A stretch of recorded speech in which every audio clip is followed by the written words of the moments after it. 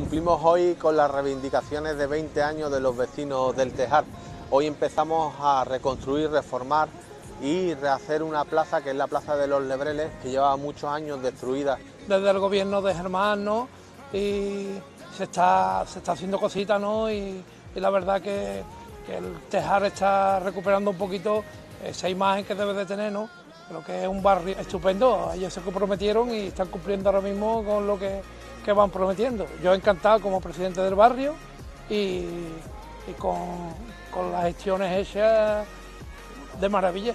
Que había que, que, que, hacer algo porque la plaza estaba intratable, ya había mucha gente que ni paraban o personas mayores que pasaban y con los acerados levantados, con el pavimento levantado, pues han caído, han tenido problemas. Y era de recibo que, el, el, tejar que, se está dando un cambio de imagen y, donde vivimos tantos vecinos que poco a poco se empiece a arreglar y se empiece a, En cuanto acabemos esta plaza, iremos a los claveles para dejar también la plaza de los claveles arreglada, reformada y rehabilitada para todos los vecinos.